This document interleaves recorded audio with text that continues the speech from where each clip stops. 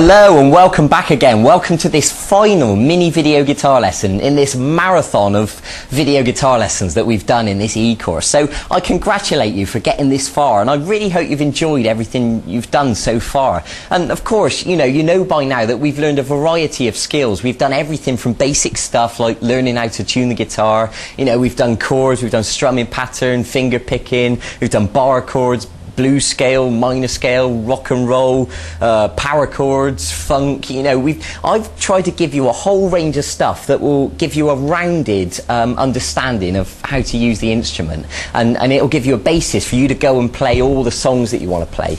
Okay, so now, this brings us to this lesson, the final lesson, and today I'm going to teach you to improvise. And really, in many ways, this is the most um, exciting and the most special lesson because what I'm going to do today is give you a lot of the responsibility.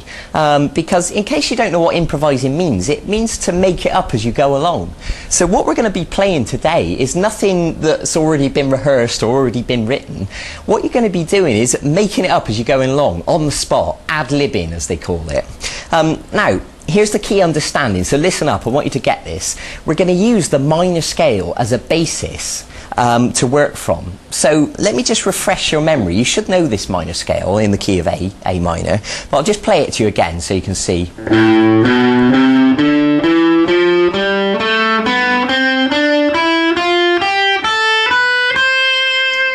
Okay, so if you need to stop the video and just quickly remind yourself of that, I suggest you do it now. Now, here's the thing you can play any of those notes in any order and they will always sound good. I know that might say, sound like a strange thing to say, but you don't have to play them in order. Because when we start to improvise, we can choose those notes because what we've got there is a palette of notes. And you can play them in any order and they'll always sound good. So let me just give you an example. I'm going to choose random notes from that scale. They must be from the scale, but um, let, me, let me show you what I mean.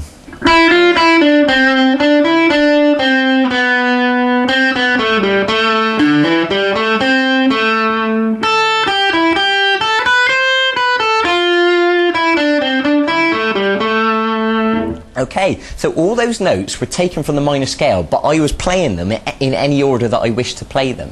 Okay, so if you want to stop the video now and try that, use the minor scale and play any of the notes in any order, then that is a good place to start to learn improvising.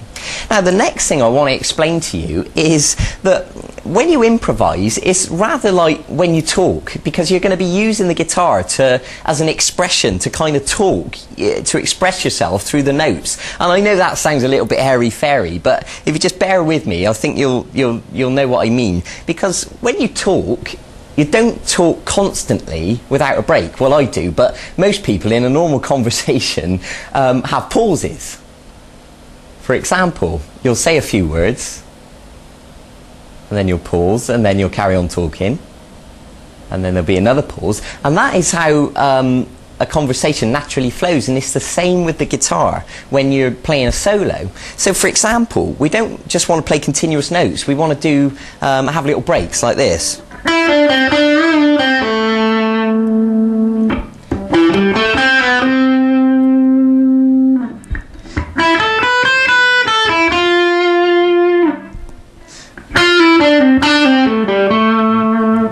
Can see I was playing in little phrases like sentences then, and it made it sound a lot more, um, a lot warmer, a lot more sensitive, didn't it? So the other thing um, that you can practice is vibrato. You might have noticed me wiggling the string a little bit like this. And really, that's all it is. It's just wiggle. You're just using your finger to pull the string gently backwards and forwards. And you'll notice that singers do that. When they hold a big note, they, they kind of wobble the note, and it's exactly the same on the guitar. So you can practice this by moving through the scale and pra mm. practicing vibrato on each note. So let me just demonstrate what I mean.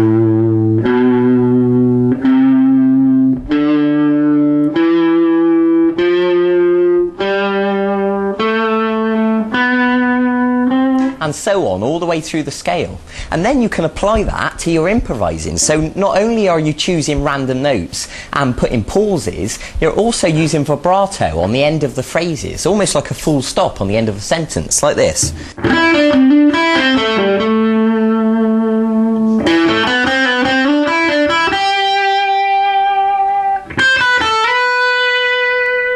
Okay, good. I hope that makes sense. Now, there's other ways of um, making it more um, expressive as well, because when we talk, we don't always talk loudly. Sometimes we talk quietly. Sometimes we do talk loud, and it's the same with the guitar. So you can play soft notes, and you can play loud notes. And when you mix them up, it, it, it makes your playing so much more interesting, so much more expressive.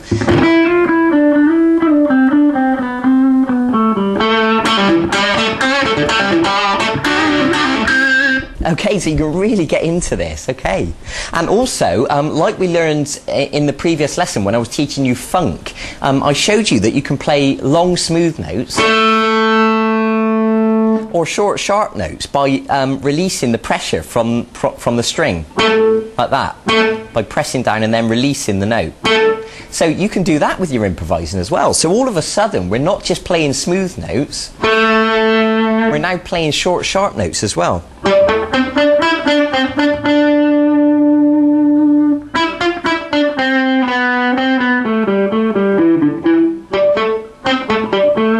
Okay, so now you can begin to mix all this in and your playing gets more interesting and more interesting. Now the other thing um, is hammers and pull-offs. You already know how to do that because we learned that in one of the very first lessons. Um, and also slides, which is when you slide your finger from one note to another. Like that. So it's dead simple. You're literally just holding down a note. Um, make sure the notes that you choose are correct notes from the minor scale. Okay, so, you know, have a little practice on that. And the other thing um, you can do is to bend the notes, which is, for example, if you were to hold the third string at fret 7 with your third finger, and what I suggest you do is use these fingers on the third string to help push, and you're going to give it a pluck bend the note up and down. Now, it's easier said than done. That'll probably take a bit of practice for you to get that sounding nice and smooth. So, when we combine all this together, we're using the minor scale, we're choosing random notes, um, we're playing in phrases, we're using pauses, we're using vibrato, we're using hammers, we're using slides, we're using bends, we're playing loud, we're playing quiet, we're playing smooth notes, and we're playing short, sharp notes. When you combine all that together, you can really have a lot of fun as a lead guitarist. Um, Um, so let me give you one more example of a bit of improvising, and I'll try and vary it as much as I can so you can, you can see what I'm doing.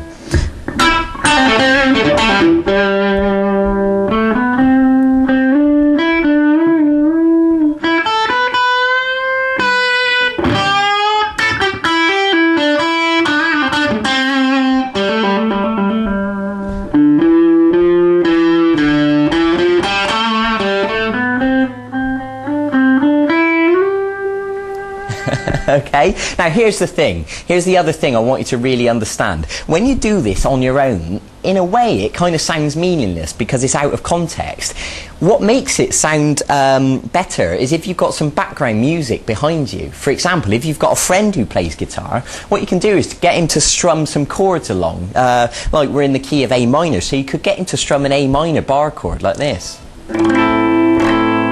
and then you could improvise over the top. Or, you know, if you're more sophisticated and you've already got a band and, you know, or if you've got a friend who plays keyboards, then that's brilliant. And then your soloing will sound even more brilliant with all the backing music behind you.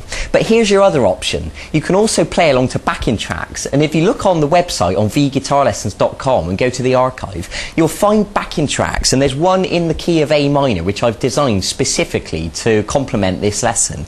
And it's a piece of music that plays along and you can practice improvising over the top. And, and it makes it sound like you've got a real band with you. And it is really enjoyable to play along to. So, you know, there you go. That that's how to improvise. Um, so go and practice that as usual. I'm sorry, I'm having to say this for the last time now. This because this is the end of the the, the 12 um, free lessons. So, you know, well done for getting this far. If you if you want to go back over those lessons and watch them again and really brush up, then